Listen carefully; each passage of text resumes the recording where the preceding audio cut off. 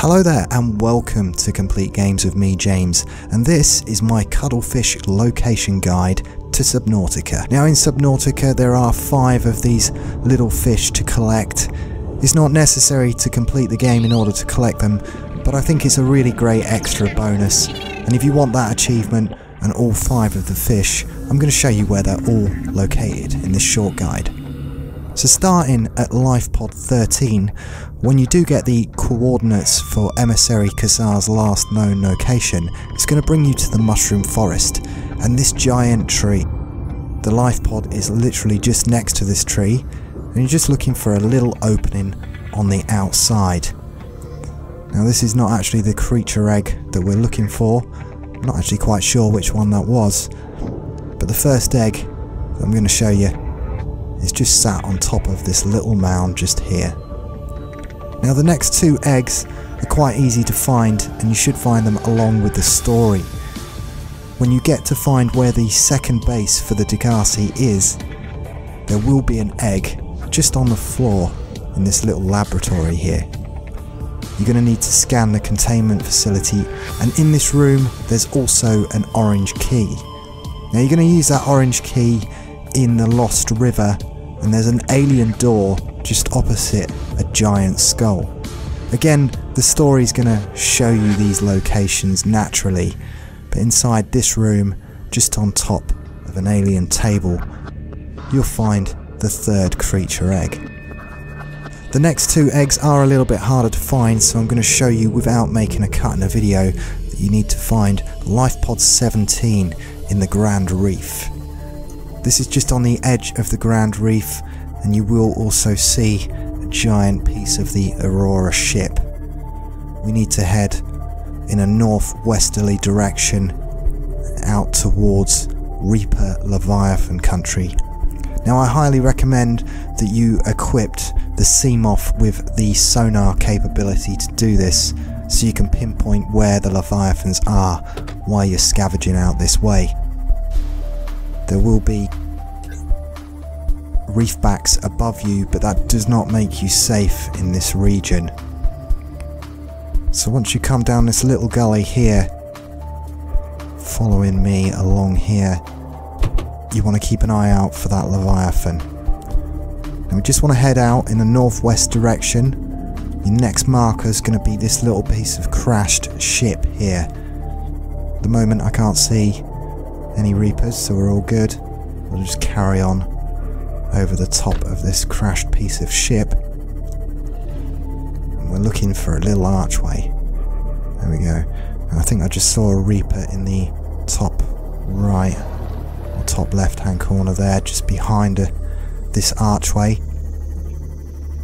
And I think it's pretty much sat above where I want to get to. So I'm just going to come around the outside. We're looking for a, a big crater. Might just be a little bit past that. I'm going to go around him. Or her. As all of the sea creatures in this game are female. And you see it's a little bit difficult to give you any landmarks other than that crash piece of ship and the archway.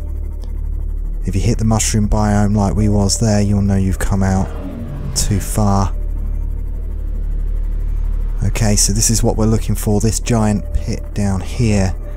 Now, if you haven't got the armour that insulates you from the heat, you will take a tiny bit of damage when you jump out of the Seamoth here. But the fourth egg is right in the centre of all of this here.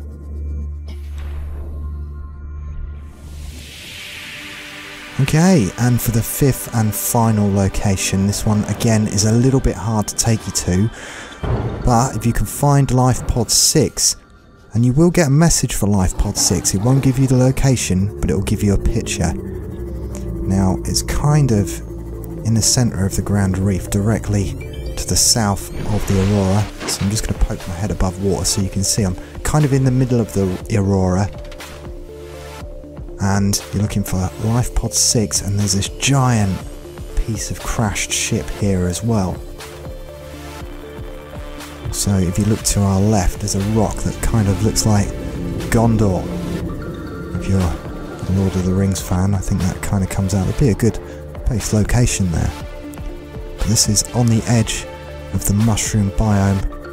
And we're going to come out towards centre of these mushrooms from Life Pod 6. We're going to make a turn just at there. And the next landmark we're looking for is an alien vent. There we go. So from Life Pod 6 to the Mushroom Forest, and from the alien vent, we're just going to come round the side of this mountain here.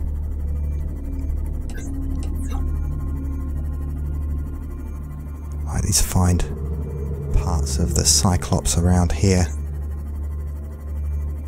And we're just going to come in here and round to the left. There's this little hole here. Now I recommend that you get your Seamoth into this hole as far as you can so you've got some lights shining in. And if we just turn around we can see the lights clearly. We need to go down. And there's another little hole just here and down again which will bring us directly on top of the fifth and final egg. Now getting out of here it can be a little bit tricky but just come up to the centre, look directly up and we've left the Seamoth lights on so the little path we need to go through is going to be lit up just here.